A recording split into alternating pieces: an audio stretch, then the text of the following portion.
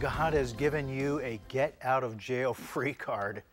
Jesus' death on the cross makes it possible for you to escape from your prison of sin and death. You know, people may try all sorts of other things to help them overcome their winter season, to find a new beginning, but only Jesus' blood can truly cleanse your sins and set you free.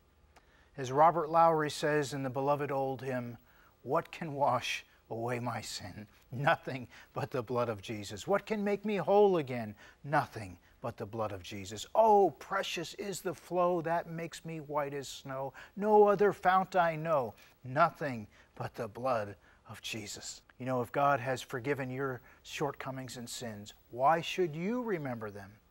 If the devil keeps sowing condemnation in your life by bringing up your past, remember this the devil is a liar.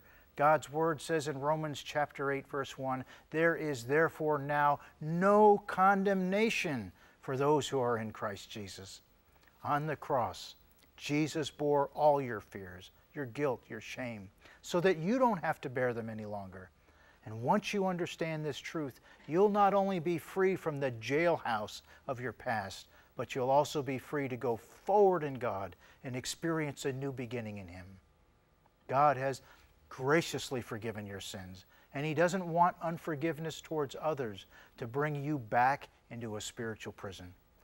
It's not until you forgive yourself and then choose to forgive others that you're going to get all the blessings that God has in store for you. Remember what Matthew chapter 6 verse 14 tells us. If you forgive others for their transgressions, your heavenly Father will also forgive you. But if you don't forgive others, then your Father will not forgive your transgressions. My friend, when you follow God's instructions, God will answer your prayers so that you can receive the breakthrough that you deserve. Join me again next week. We're going to continue this series on how you can take steps to experiencing God's breakthroughs that He has appointed for you in your life. I'll see you then.